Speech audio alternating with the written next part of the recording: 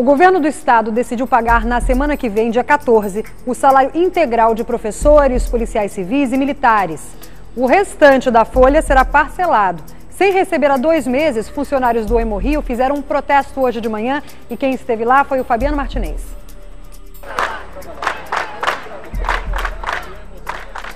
Hoje pela manhã, funcionários terceirizados do Hemorrio fizeram uma manifestação em frente ao órgão funcionários do Hemorrio acabaram de fechar a rua Frei Caneca nesse momento.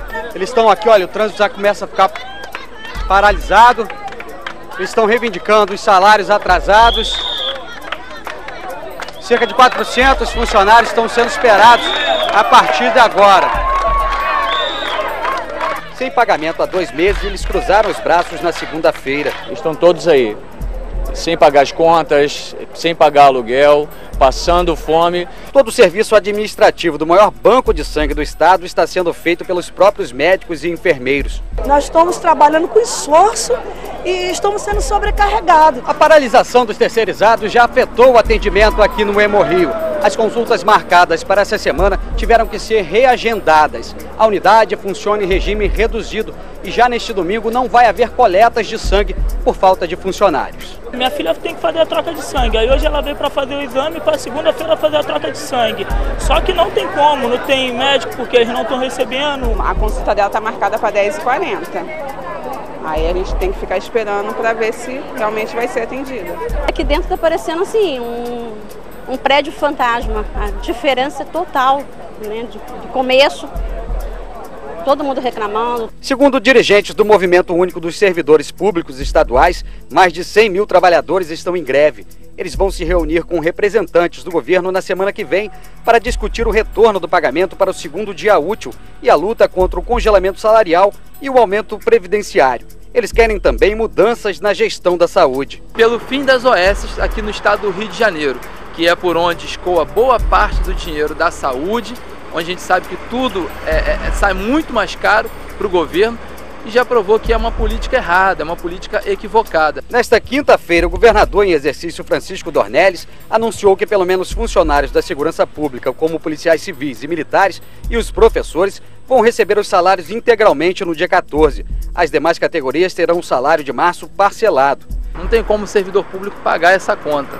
Então, se hoje falta dinheiro, é porque o governo deixou de arrecadar. A Polícia Civil aderiu ao movimento e faz uma paralisação de 72 horas.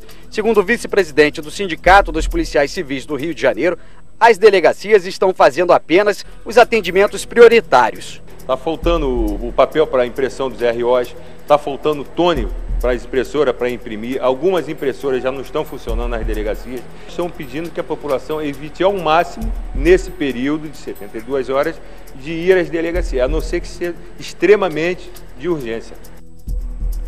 Policiais e professores fazem parte das categorias que mais têm pressionado o governo do Estado. Esses protestos são importantes na medida em que vem o resultado agora do pagamento de forma integral, pelo menos para essas categorias consideradas essenciais. Agora, deve vir, vamos ver se vai ser pago, se vai cair na conta no dia 14, como está prometendo o governo. O restante são 33 categorias que fazem parte desse movimento de grevistas, ainda não sabe o que, que vai acontecer de fato e essa resposta é que precisa ser dada. Como eu já falei aqui outras vezes, a situação é crítica. Agora eu queria só fazer uma observação a respeito do Hemorrio.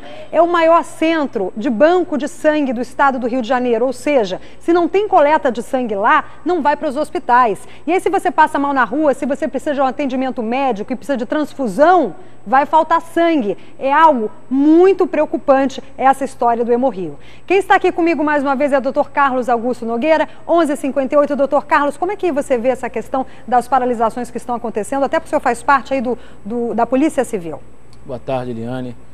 Eliane, eu estou licenciado porque em outubro eu vou ter uma outra briga é pela, pela frente. Mas eu acho que tem que ter justiça, né? Eu acho que todos têm que receber, Eliane. É, todas as categorias têm pessoas doentes, tem pessoas que pagam suas contas. É, eu acho que o servidor público está pagando uma conta de gestões que de repente não se atentaram para o que podia acontecer. E aí a saúde também fica desse jeito, tudo fica desse É muito triste, Liane. Olha, em relação, em, relação, em relação ao morri, doutor Carlos, eu falei aqui da transfusão de sangue, mas além disso tem também medula óssea. É, aquelas crianças que têm leucemia, que foram mostradas aí, teve uma menininha que aparece até com uma máscara, são crianças que estão esperando para fazer o transplante e dependem é, da medula óssea. Isso também vai ser paralisado, ou seja, é, é uma total falência da saúde que a gente vê hoje em dia, aí representada pelos servidores que não estão tendo seus pagamentos e fora isso, tem a questão também da falta de medicamentos e insumos. Daqui a pouco eu volto nesse assunto.